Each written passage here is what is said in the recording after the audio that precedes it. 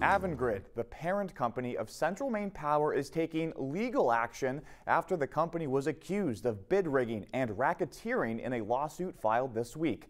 Good evening, I'm Sam Rogers.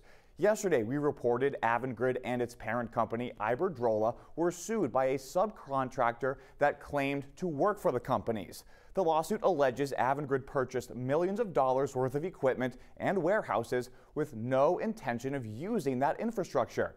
Security Limits Incorporated CEO Paulo, Paulo Silva filed the lawsuit. In it, he claims Avangrid could use those expenses as a reason to ask public utilities commissions to increase power rates among customers.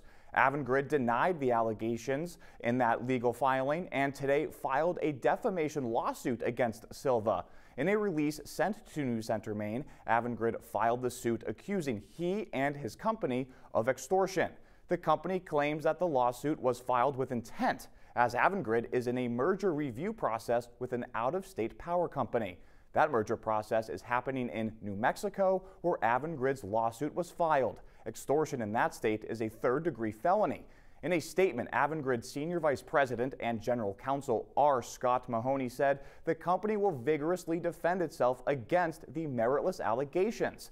In fact, Avangrid has previously reviewed unsubstantiated allegations made by Silva's company, Security Limits Incorporated, and sent it a cease and desist letter.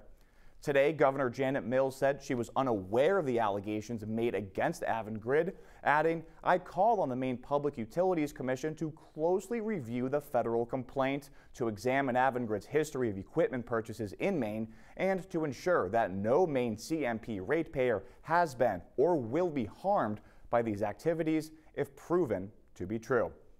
Now, we have a lot more details on this story on our website and mobile app.